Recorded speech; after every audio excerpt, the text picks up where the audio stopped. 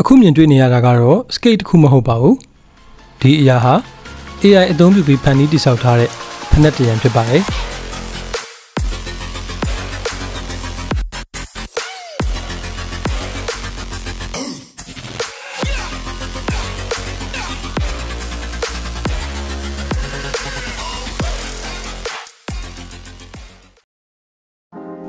သူ့ကို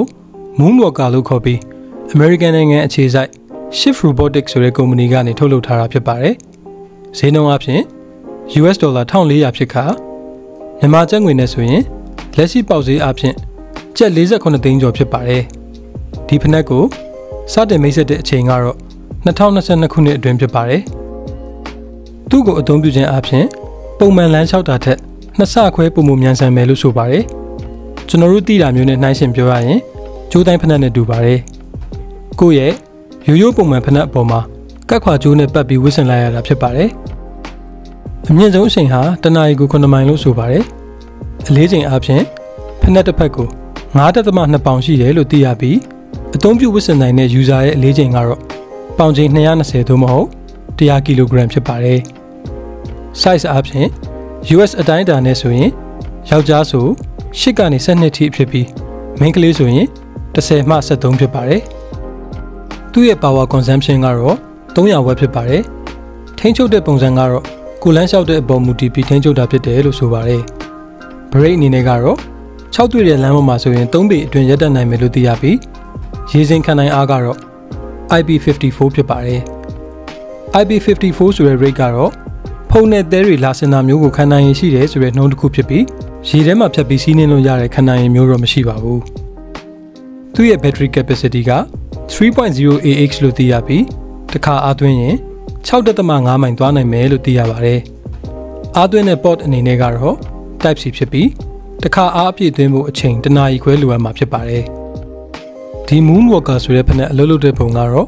သူ့ကို activate လုပ်လိုက်တဲ့အခါမှာဖက်နက်ထဲမှာရှိတဲ့ sensor တွေကဝစ်စင်သူရဲ့ခြေလမ်းပေါ်မှာမူတည်ပြီး data ကိုကောက်ယူပါတယ်။ဖက်နက်ရဲ့အောက်ခြေမှာရှိတဲ့ motor တက်ဘိန်းရှစ်ဘိန်းလဲပတ်တိုင်းမှာ speed ကိုထိန်းဖို့အတွက်စောစောကစုဆောင်းထားတဲ့ data တွေကိုအသုံးပြုပါတယ်။ဟန်ချက်ထိန်းစရာမလိုပါဘူးလို့ထုတ်လုပ်သူကပြောပါတယ်။အသုံးပြုနည်းကတော့ကိုကလမ်းကိုမြန်မြန်လျှောက်တဲ့အခါမှာဖနက်ကလည်းအလိုလျောက်ပို့မှုအရှိန်မြင့်တက်လာမှာဖြစ်ပြီးဖနက်ကိုနှေးသွားစေခြင်းရင်တော့လမ်းလျှောက်တဲ့အရှိန်ကိုရှော့ချလိုက်ရုံပါပဲ။ပုံမှန်လူတဦးရဲ့တနာရီပြန်မြလမ်းလျှောက်နှုန်းဟာ3မိုင်ဖြစ်ပါတယ်။ဒါဟာတမိုင်ကိုမိနစ်20နှုန်းနဲ့လမ်းလျှောက်တဲ့သဘောပါ။မုံတော်ကဖနက်ကိုစီးပြီးလမ်းလျှောက်မယ်ဆိုရင်တော့ တနာရီကို9မိုင်အထိလျှောက်နိုင်မှာဖြစ်ပြီးဒါဟာတမိုင်ကိုရောက်ဖို့10မိနစ်ခွဲပဲကြာတဲ့သဘောဖြစ်ပါတယ်။သဘောတရားကတော့အာသွန်ခွန်ဆိုင်ပြေးပြီးမှရလာတဲ့နှုံးကိုမုံတော်ကဖနက်ကိုစီးပြီးတက်တောင့်တက်တာလမ်းလျှောက်ခြင်းအပြင်ရရှိနိုင်မယ်လို့ဆိုလိုတာပဲဖြစ်ပါတယ်။ဘိန်းတွေဟာပုံမှန်အားဖြင့်သူ့အလိုလိုလဲနေမှာမဟုတ်ပါဘူးလမ်းလျှောက်လိုက်မှသာကိုလမ်းလျှောက်ပုံနဲ့လိုက်လျောညီတွေလိုက်လံလဲပတ်မှာပဲဖြစ်ပါတယ်ဒါကြောင့် အရှိန်မထိန်နိုင်မဲ့အမြင့်တနေရာမှာပြုတ်ကျသွားမှာမျိုးကိုစိုးရိမ်စရာမလိုပါဘူးအမြင့်ဆုံးအမြန်နှုန်းနဲ့သွားနေရင်တော့မှလုံးဝရပ်တန့်သွားဖို့အကွာအဝေး၃ပေသာလိုအပ်ပါတယ်ဒီပမာဏဟာတင်ပြေးနေခြင်းအတွင်းရက်လိုက်တဲ့အချိန်မှာရက်ဖို့အရှိန်ယူရတဲ့အကွာအဝေးနဲ့အတူတူပဲဖြစ်ပါတယ်ဒီဖနက်ဟာကျန်းတန်းနဲ့ရှောက်လန်းနေအပေါ်မှာအသုံးပြုနိုင်တယ်လို့လည်းထုတ်လုပ်ထားတဲ့ကုမ္ပဏီဘက်ကဆိုပါတယ်။အခုကြည့်ရှုခဲ့ရတာကတော့ Moonwalker လို့ခေါ်တဲ့ American Dollar 1400တန် AI ဖက်နက်တရံအကြောင်းဖြစ်ပါတယ်။